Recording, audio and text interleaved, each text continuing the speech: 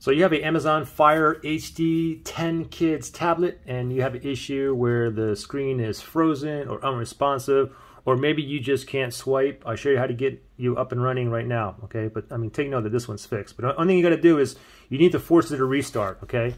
So if it's if it's um, frozen or unresponsive, you may not be able to get the power off menu uh, power off menu here to pop up or maybe even if you do when you tap it it doesn't work okay? So what you can do is this the power button here what I want you to do is press and hold that button for 15 seconds okay? And then it's going to turn off and I'll show you okay? We'll do it together. Power button right here right here. Ready? One two one two three. Press and hold and just hold it there for 15 seconds. Just keep on holding that power button.